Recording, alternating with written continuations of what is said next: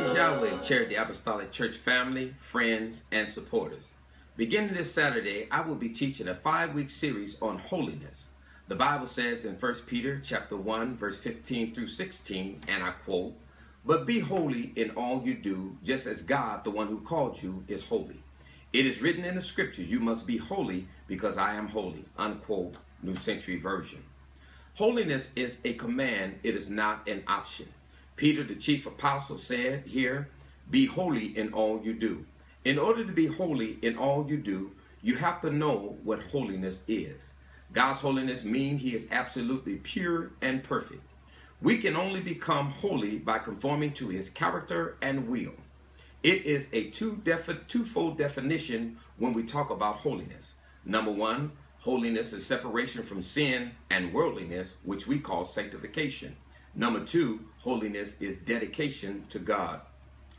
These areas of separation should be manifested in our thoughts, our attitude, stewardship of the body, the tongue, the eye, the appearance, and amusements. Let me give you some examples of the church's problem with holiness. I have heard pastors use profanity like it is their native language. I have heard them use the N word with no shame.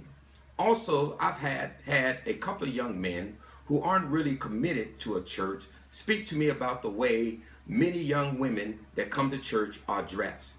They would say to me things like, and I quote, when I go to church, I have to ask myself, am I going to a nightclub or church with the way these women are dressed? Unquote. What I have to ask is, what are they taught about modesty and uh, which is a part of holiness? Today, there is no distinction between the sexes.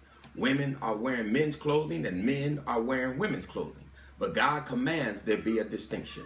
In Deuteronomy chapter 22 and verse number 5, it reads, and I quote, A woman must not wear men's clothing, and a man must not wear women's clothing. The Lord your God hates anyone who does that. Unquote. New Century Version. God still wants a witness in society for the distinction between male and female. If the church doesn't provide it, who will? God always gives us a choice in serving him. We didn't choose our gender, but by our dress, our hair, our actions, we can either ratify or reject God's will for us. God is concerned about every aspect of your life, and he wants you to be holy. Without holiness, you will not see the Lord. Without holiness, the church loses its true identity.